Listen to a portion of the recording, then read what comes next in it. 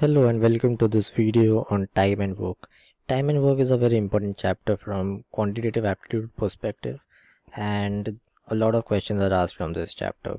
So let us look at uh, basically this video will help you to solve any question from this chapter of time and work. There is just one small little fundamental that you need to know and that will go a long way in solving any given question from this chapter. So let's start now let us let us look at the first question. So a completes the task in three days. B completes the same task in two days. In how many days would the task get completed if both work simultaneously on it? The simple thing to do here is calculate how much they can do in a single day. So a completes the task in three days. If a completes the task in three days it means it requires 1 by 3 it completes 1 by 3 of the task in one day.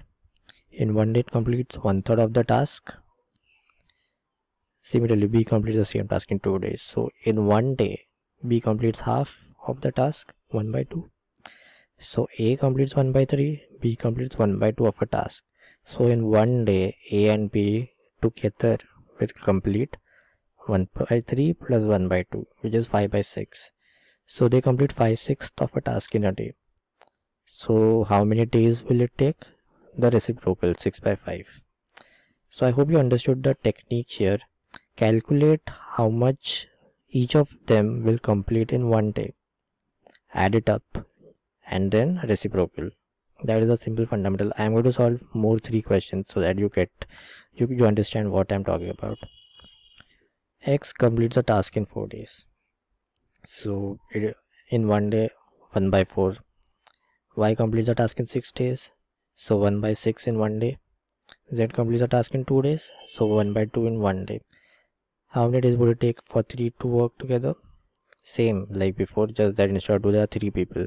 Add it up. 1 by 4 plus 1 by 6 plus 1 by 2 and you will get 11 by 12 so how many days would it take if all three had to work together? The reciprocal A and B can do a work together in four days. So together they complete one fourth in a day.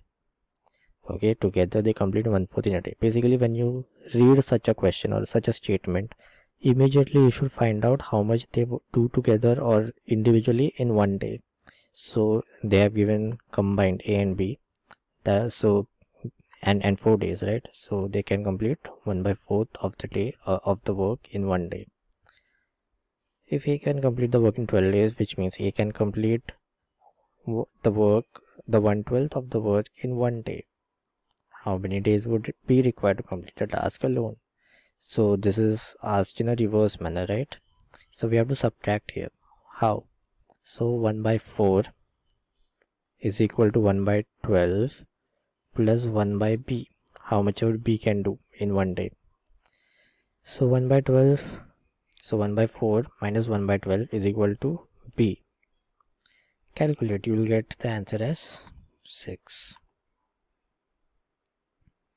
i hope you are understanding the central idea here okay? The central idea is to find out how much of the work is being done in one day. That simplifies the whole sum for you.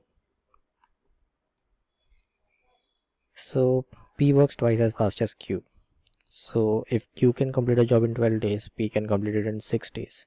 So q completes 1 12th of a job in a day. P completes 1 6th of a job in a day. How many days will it take for them to complete together? So 1 by 6 plus 1 by 12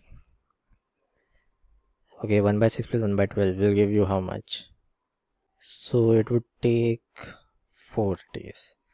Do the complete calculation yourself so that you understand what is really happening apart from this we also have 20 questions on this topic for you to practice on our website. So the link is in description. Or if you are watching this video on our website itself you can go down and start solving the questions. Thank you